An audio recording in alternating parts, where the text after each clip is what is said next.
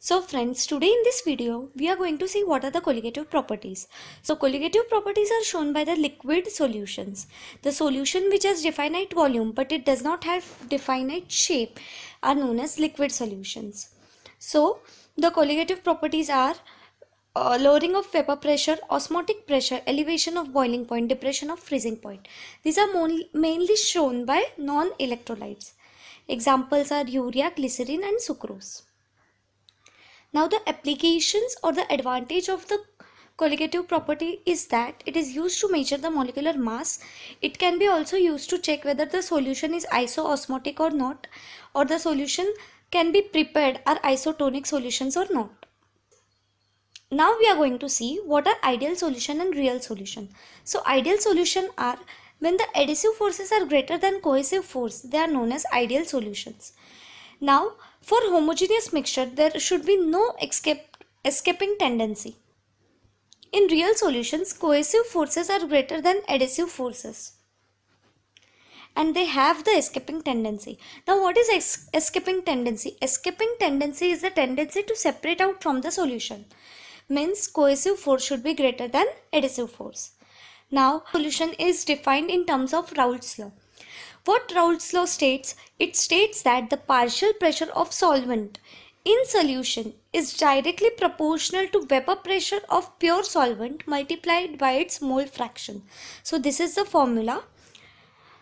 P is equal to PVS0x. Now P is partial pressure, PVS is uh, vapor pressure of pure solvent and X is the mole fraction. This is the further derivation of Raoult's law. Now we will see what are the deviations. If the deviation is positive, then co cohesive forces will be greater than adhesive force. If the deviation is negative, then the adhesive forces will be greater than cohesive forces. Pressure. Because of the solute-solvent interaction, higher concentrations of non-volatile solute make it harder for the solvent to escape to the vapor phase. This is this pressure is called as vapor pressure. So the vapor pressure of solution is always less than that of pure solvent. Now we will see what is the lowering of vapor pressure. So P is equal to P0x1 where P1 is the partial pressure, P1 0 is the vapor pressure and X is the mole, uh, mole fraction. So this is a further derivation of lowering of vapor pressure. Now what are the methods to determine the lowering of vapor pressure? So first method is manometric met method. Second is isopiestic method. Third is Hill and Blades method. Fourth is Wescor vapor pressure osmometer. So manometric method is used to determine the vapor pressure of solute and solvent. Isopiestic method is the method in which there is equilibrium of both vapor pressure that is standard and sample and at the isopiestic point we determine the vapor pressure. Hills and blade. Hills and blade are used for determining the potential of pure solvent. Wescor vapor pressure osmometer thermocouple is used and potential difference is calculated. Going to see what is elevation of boiling point. So the graph is plotted that is vapor pressure versus temperature. We have took three different solution.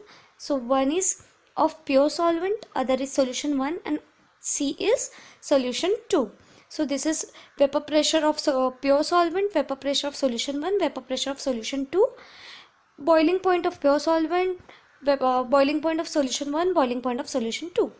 Now further we are going to see what is the equation which is derived that is at T is equal to KBW2M1 upon M2W1.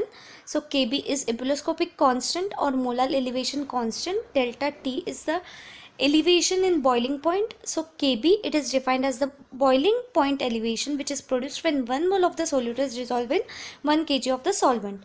And the methods to determine the elevation of the boiling point are Landsberg-Walker method and Cottrell's method point depression is same again we have to plot a graph that is pressure versus temperature and further we derive to an equation that is delta f is equal to kf p01 minus p upon p where kf is equal to cryoscopic constant or molar depression constant. And the two methods to determine the depression of freezing point are Rast-camphor method and Beckmann's method. Osmotic pressure, the solvent passes into more concentration increasing its volume that is lower to higher. The passage of the solvent can be prevented by the application of pressure and this pressure which prevents the transport is called as osmotic pressure. Now we are going to see what are the laws of osmotic pressure. So for dilute solution and non-electrolyte solution, it should obey the gas law. What is ideal gas law? That is PV is equal to nRT. nRT, the pressure is replaced with osmotic pressure that is pi. So pi V is equal to nRT. We can also write N by V is equal to C.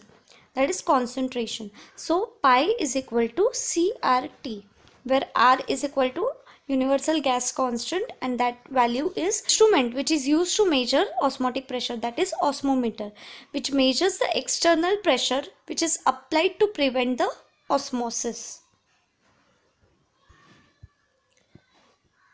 Now for determination of the molecular weight based on the colligative properties there are three methods of vapor pressure, elevation of boiling point, depression of freezing point and these are the equations by which we can calculate the molecular weight of a compound.